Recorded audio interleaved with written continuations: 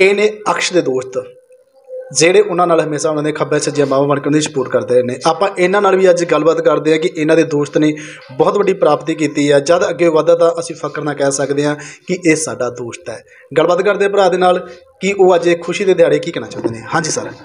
ਸਤਿ ਸ੍ਰੀ ਅਕਾਲ ਸਾਰੇ ਵੀਰਾਂ ਨੂੰ ਤੇ ਆਪਣਾ ਜਿਹੜਾ ਜਿਹੜਾ ਚੈਨਲ ਹੈ, ਜਨਤਾ ਦੀ ਆਵਾਜ਼ ਦੇਖਣ ਵਾਲੇ ਸਾਰੇ ਵੀਰਾਂ ਨੂੰ ਸਤਿ ਸ੍ਰੀ ਅਕਾਲ।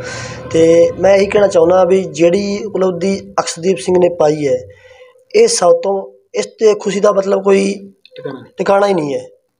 ਜਿਵੇਂ ਅੱਜ ਤੋਂ ਇੱਕ ਮਹੀਨਾ ਡੇਢ ਮਹੀਨਾ ਪਹਿਲੇ ਜੇ ਤਿਆਰੀ ਕਰਦਾ ਸੀ ਜਿਵੇਂ ਮੈਂ ਸਾਨੂੰ ਫੋਨ ਅਸੀਂ ਫੋਨ ਕਰਦੇ ਸੀ ਪੁੱਛਦੇ ਸੀ ਵੀ ਕਿਵੇਂ ਚੱਲ ਰਿਹਾ ਹੈ ਕੀ ਕਰ ਰਿਹਾ ਹੈ।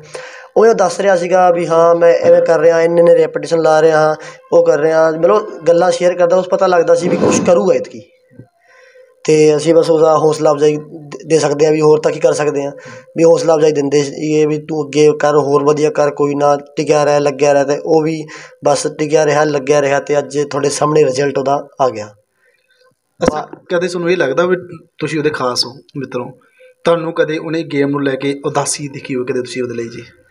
ਦੇਖੋ ਖਾਸ ਮਿੱਤਰ ਆ ਇਹਦੇ ਕੋਈ ਮਤਲਬ ਸਾਕੀ ਨਹੀਂ ਵੀ ਖਾਸ ਮਿੱਤਰ ਹੈ ਕਿ ਨਹੀਂ ਇਹਦਾ ਭਰਾਵਾਂ ਵਰਗੇ ਅਸੀਂ ਤਾਂ। ਅਸੀਂ ਦੋ ਚਾਰ ਦਿਨ ਭਰਾ ਦੱਸਿਆ ਸੀਗਾ ਜਿਵੇਂ ਆਰਮੀ 'ਚ ਜਰਾ ਭਰਾ ਆਪਣਾ ਬੈਠਾ।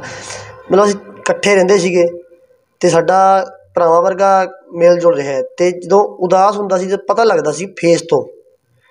ਜਾਂ ਕੋਈ ਬਿਮਾਰ ਹੁੰਦਾ ਸੀ ਤਾਂ ਹੀ ਫੇਸ ਤੋਂ ਪਤਾ ਲੱਗਦਾ ਸੀਗਾ। 2016 17 18 19 20 ਅਸੀਂ ਇਕੱਠੇ ਰਹੇ ਹਾਂ। ਅਤੇ ਇਸ ਤੋਂ ਬਾਅਦ ਉਹਦਾ ਸਾਨੂੰ ਦੇਖਣ ਤੋਂ ਪਤਾ ਲੱਗ ਜਾਂਦਾ ਸੀਗਾ ਵੀ ਅੱਜ ਇਹ ਉਦਾਸ ਹੈ। ਅੱਜ ਇਹਨੇ ਰੋਟੀ ਨਹੀਂ ਖਾਧੀ ਜਾਂ ਫਿਰ ਅੱਜ ਇਹਨੇ ਟ੍ਰੇਨਿੰਗ ਕੀਤੀ ਅਤੇ ਇਹ ਟ੍ਰੇਨਿੰਗ ਥੋੜ੍ਹੀ ਘੱਟ ਹੋਈ ਹੈ। ਟ੍ਰੇਨਿੰਗ 'ਚ ਇਹਦਾ ਟਾਈਮ ਵੇਸਟ ਨਹੀਂ ਹੋਇਆ। ਮਤਲਬ ਜਿਹੜਾ ਆਪਦਾ ਕਰ ਰਿਹਾ ਇੰਪਰੂਵ ਨਹੀਂ ਨਹੀਂ ਕਰ ਪਾ ਰਿਹਾ ਅਤੇ ਉਦਾਸ ਉਹਦੀ ਚਿਹਰੇ ਤੋਂ ਨਜ਼ਰ ਆ ਜਾਂਦਾ ਸੀਗਾ।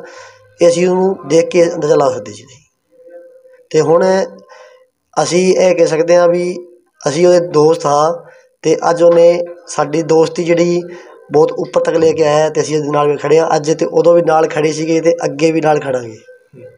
ਜਿਵੇਂ ਸਿਆਣੇ ਕਹਿੰਦੇ ਨੇ ਕਿ ਬੰਦਾ ਜਦੋਂ ਕਿਸੇ ਵਿਪਤਾ ਚ ਹੁੰਦਾ ਨਾ ਤਾਂ ਸਾਡਾ ਹੱਕ ਬਣਦਾ ਅਸੀਂ ਕਹੀਏ ਇਹ ਸਾਡਾ ਦੋਸਤ ਹੈ। ਜਦ ਬੰਦਾ ਕਹਿੰਦਾ ਵੀ ਅਸੀਂ ਉਹ ਕਰਦੇ ਹਾਂ ਤਾਂ ਉਦੋਂ ਕਹਿੰਦੇ ਵੀ ਅਸੀਂ ਇਹਦੇ ਦੋਸਤ ਹਾਂ ਜੀ ਹੈ ਨਾ।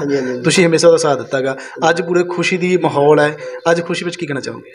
ਅੱਜ ਖੁਸ਼ੀ 'ਚ ਮੈਂ ਇਹੀ ਕਹਿਣਾ ਚਾਹੁੰਦਾ ਵੀ ਜਿੰਨੀ ਜਨਤਾ ਹੈ ਜਿਵੇਂ ਅਕਸ਼ਦੀਪ ਸਿੰਘ ਨੂੰ ਦੇਖ ਕੇ ਜੇ ਕੋਈ ਚੇਂਜ ਹੁੰਦਾ ਹੈ ਪੰਜਾਬ 'ਚ ਇੰਡੀਆ 'ਚ ਤੇ ਮੈਂ ਇਸ ਤੋਂ ਵੱਡੀ ਖੁਸ਼ੀ ਦੀ ਗੱਲ ਹੈ ਨਹੀਂ ਕੋਈ, ਕਿਉਂਕਿ ਭਾਰਤ ਪਹਿਲਾ ਭਾਰਤੀ ਹੈ, ਪਹਿਲਾ ਪੰਜਾਬੀ ਹੈ ਜਿਹਨੇ ਓਲੰਪਿਕ ਦੋ ਹਜ਼ਾਰ ਚੌਵੀ ਪੈਰਿਸ ਲਈ ਕੁਆਲੀਫਾਈ ਕੀਤਾ ਹੈ ਅਤੇ ਇਹਨੂੰ ਦੇਖ ਕੇ ਕੋਈ ਹੋਰ ਮੁੰਡਾ ਜਾਂ ਕੁੜੀ ਕੋਈ ਮੋਟੀਵੇਟ ਹੋ ਕੇ ਸਪੋਰਟਸ ਵੱਲ ਅੱਗੇ ਵੱਧ ਕੇ ਭਾਰਤ ਦਾ ਨਾਂ ਰੌਸ਼ਨ ਕਰੇਗਾ ਅਤੇ ਇਸ ਤੋਂ ਵੱਧ ਕੋਈ ਖੁਸ਼ੀ ਦੀ ਗੱਲ ਹੈ ਨਹੀਂ ਅਤੇ ਮੈਂ ਇਹ ਕਹਿਣਾ ਚਾਹੁੰਦਾ ਵੀ ਇਹਨੂੰ ਦੇਖ ਕੇ ਆਪਾਂ ਅੱਗੇ ਵਧੀਏ ਮੋਟੀਵੇਟ ਹੋਈਏ, ਨਾ ਕਿ ਇਹ ਚੀਜ਼ ਦੇਖੀਏ ਨੈਗੇਟਿਵ ਚੀਜ਼ਾਂ ਨੂੰ ਸਾਈਡ ਰੱਖੀਏ ਪੋਜ਼ੀਟਿਵ ਚੀਜ਼ਾਂ ਨੂੰ ਅੱਗੇ ਰੱਖੀਏ।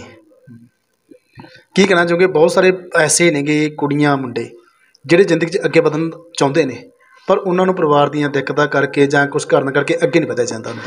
ਦੇਖੋ, ਮੈਂ ਇਹ ਕਹਿਣਾ ਚਾਹੁੰਦਾ ਵੀ ਕਈ ਬੱਚੇ ਹੁੰਦਾ ਹੈ, ਜਿਹੜਾ ਫੈਮਿਲੀ ਫੈਮਿਲੀ ਚੋਂ ਉਹਨੂੰ ਸਪੋਰਟ ਨਹੀਂ ਮਿਲਦੀ ਤੇ ਉਹ ਪਿੱਛੇ ਰਹਿ ਜਾਂਦੇ ਆ। ਤੇ ਕਈ ਮੁੰਡੇ ਐਵੇਂ ਦੇ ਹੁੰਦੇ ਆ ਵੀ ਜਿਹਨੂੰ ਸਪੋਰਟ ਮਿਲਦੀ ਹੈ ਪਰ ਅ- ਅੱਗੇ ਖੁਦ ਨਹੀਂ ਵੱਧਦੇ, ਖੁਦ ਦੀ ਗਲਤੀਆਂ ਕਰਕੇ ਰਹਿ ਜਾਂਦੇ ਆ। ਕਿਉਂਕਿ ਆਪਾਂ ਜਿਹੜੀ ਚੀਜ਼ ਸ਼ੁਰੂਆਤ ਕਰਦੇ ਆ ਨਾ, ਸ਼ੁਰੂਆਤ ਤਾਂ ਕਰ ਲੈਂਦੇ ਆ ਫਿਰ ਜੇ ਰਾਸਤਾ ਬਹੁਤ ਲੰਬਾ ਹੁੰਦਾ ਤੇ ਉਹ ਸ਼ੁਰੂਆਤ ਨੂੰ ਆਪਾਂ ਭੁੱਲ ਜਾਂਦੇ ਆ ਕਿਉਂਕਿ ਰਾਸਤੇ ਵਿੱਚ ਹੋਰ ਬੜੀਆਂ ਚੀਜ਼ਾਂ ਆਉਂਦੀਆਂ ਨੇ। ਆਪਾਂ ਉਹ ਚੀਜ਼ਾਂ 'ਚ ਪੈ ਕੇ ਜਿਹੜੀ ਆਪਣੀ ਜਿਹੜੀ ਮੇਨ ਸ਼ੁਰੂਆਤ ਹੁੰਦੀ ਹੈ, ਆਪਾਂ ਉਹਨੂੰ ਭੁੱਲ ਕੇ ਤੇ ਆਪਣਾ ਰਸਤਾ ਭਟਕ ਜਾਂਦੇ ਆ ਬਸ ਇਹੀ ਆਪਾਂ ਚੀਜ਼ ਤੇ ਫੋਕਸ ਕਰ ਲਈਏ ਨਾ ਵੀ ਸ਼ੁਰੂਆਤ ਕਿੱਥੋਂ ਕਰੀਏ ਤੇ ਇਹਨੂੰ ਆਪਾਂ ਕਿੱਥੇ ਤੱਕ ਖਤਮ ਕਰਨਾ ਹੈ। ਵਿਚਾਲੇ ਜਿਹੜੇ ਵਿਚਾਲੇ ਜਿਹੜੀਆਂ ਚੀਜ਼ਾਂ ਆਈਆਂ, ਉਹ ਚੀਜ਼ਾਂ ਨੂੰ ਆਪਾਂ ਇਗਨੋਰ ਕਰਕੇ ਆਪਾਂ ਅੱਗੇ ਵਧੀਏ ਤੇ ਇਸ ਤੋਂ ਸਕਸੈਸ ਬੰਦਾ ਹੋਰ ਕੋਈ ਨਹੀਂ ਹੋ ਸਕਦਾ। ਲਾਟ ਦੇ ਮੈਸੇਜ ਕੀ ਦੇਣਾ ਚਾਹੋਗੇ ਮੈਂ ਤਾਂ ਇਹੀ ਮੈਸੇਜ ਜਨ ਦੇਣਾ ਚਾਹੁੰਦਾ ਵੀ ਜਿੰਨੇ ਵੀ ਜੋ ਵੀ ਕਰ ਰਿਹਾ ਆਪਣੀ ਫੀਲਡ 'ਚ ਭਾਵੇਂ ਪੜ੍ਹਾਈ ਹੈ ਭਾਵੇਂ ਸਟੱਡੀ ਹੈ ਭਾਵੇਂ ਸਪੋਰਟਸ ਹੈ ਇੰਟਰਸਟ ਹੈ ਉਹੀ ਕਰੋ। ਤੇ ਚੰਗਾ ਕੰਮ ਕਰੋ ਮਾਪਿਆਂ ਲਈ ਦੇਸ਼ ਲਈ ਪਿੰਡ ਲਈ ਸ਼ਹਿਰ ਲਈ। ਏਸੀ ਕਾਸ਼ ਦੇ ਪਹਿਲੇ ਮਿੱਤਰ। ਸਾਡੇ ਖੱਬੇ ਸਾਈਡ ਬੈਠੇ ਨੇ, ਉਹਨਾਂ ਦੇ ਦੂਸਰੇ, ਦੋਸਤ ਜੋ ਦਿੱਲੀ ਤੋਂ ਨੇ, ਜਿਨ੍ਹਾਂ ਦਾ ਪਹਿਲਾਂ ਚਰਚਾ ਕਰਕੇ ਹਟੇ ਨੇ ਕਿ ਉਹ ਜੇ ਮੈਂ ਦਿੱਲੀ ਜਾਂਦਾ ਸਭ ਤੋਂ ਪਹਿਲਾਂ ਕਹਿ ਦਿੰਦੇ ਨੇ ਕਿ ਮੈਂ ਤੁਹਾਨੂੰ ਕਿੱਥੋਂ ਲੈ ਕੇ ਜਾਵਾਂਗੇ।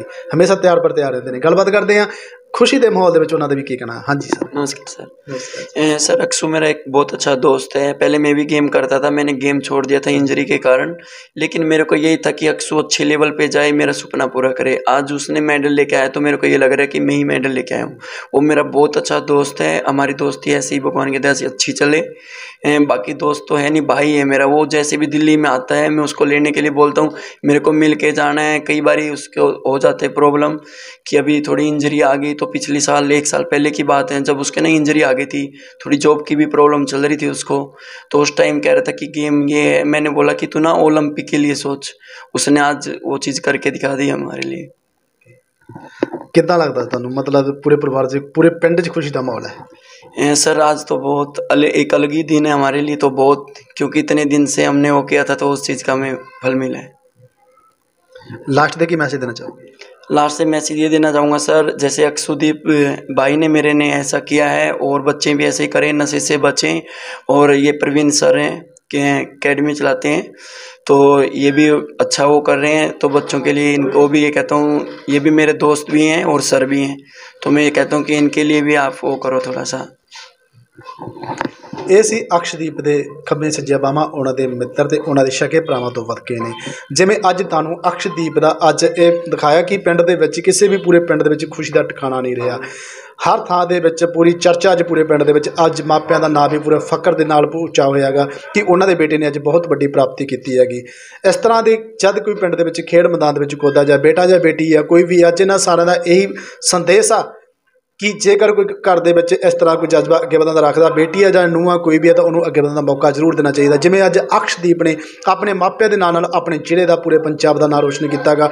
ਇਸੇ ਤਰ੍ਹਾਂ ਕੋਈ ਵੀ ਬੱਚਾ ਉੱਠ ਕੇ ਆਪਣੇ ਪਿੰਡ ਦਾ ਆਪਣੇ ਮਾਪਿਆਂ ਦਾ ਨਾਂ ਰੋਸ਼ਨ ਕਰ ਸਕਦਾਗਾ, ਪਰ ਜ਼ਿੰਦਗੀ ਦੇ ਵਿੱਚ ਉਹਨੂੰ ਇੱਕ ਮੌਕਾ ਜ਼ਿੰਦਗੀ 'ਚ ਬਦਲਣ ਦਾ ਜ਼ਰੂਰ ਦੇਣਾ ਚਾਹੀਦਾ। ਜਿਵੇਂ ਅੱਜ ਤੁਹਾਨੂੰ ਪਿੰਡ ਕਾਨੇ ਕਿਆਂ ਦਾ ਅਕਸ਼ਦੀਪ ਦੇ ਘਰ ਦਾ ਇਹ ਖੁਸ਼ੀ ਦਾ ਮਾਹੌਲ ਦਿਖਾਇਆ। ਇਸੇ ਤਰ੍ਹਾਂ ਤੁਹਾਡੇ ਸਾਹਮਣੇ ਹੋਰ ਵੀ ਨਵੀਆਂ ਨਵੀਆਂ ਇੰਟਰਵਿਊਆਂ, ਖਬਰਾਂ ਲੈ ਕੇ ਫਿਰ ਹਾਜ਼ਰ ਹੋਵਾਂਗੇ। ਸਾਡੀ ਹਰ ਖਬਰ ਦੇਖਣ ਲਈ ਸਾਡੇ ਚੈਨਲ ਨੂੰ ਸਬਸਕ੍ਰਾਈਬ ਕਰਨਾ, ਲਾਈਕ ਕਰਨਾ, ਕਮੈਂਟ ਕਰਨਾ ਤਾਂ ਕਿ ਸਾਡੀ ਹਰ ਆਉਣ ਵਾਲੀ ਖਬਰ ਤੁਹਾਡੇ ਤੱਕ ਸਭ ਤੋਂ ਪਹਿਲਾਂ ਪਹੁੰਚੇ। ਨਵੀਂ ਖਬਰ ਇਸੇ ਤਰ੍ਹਾਂ ਦੀ ਲੈ ਕੇ ਫਿਰ ਹਾਜ਼ਰ ਹੋਵਾਂਗੇ ਉਦ ਲਈ ਸਤਿ ਸ਼੍ਰੀ ਅਕਾਲ ਜੀ।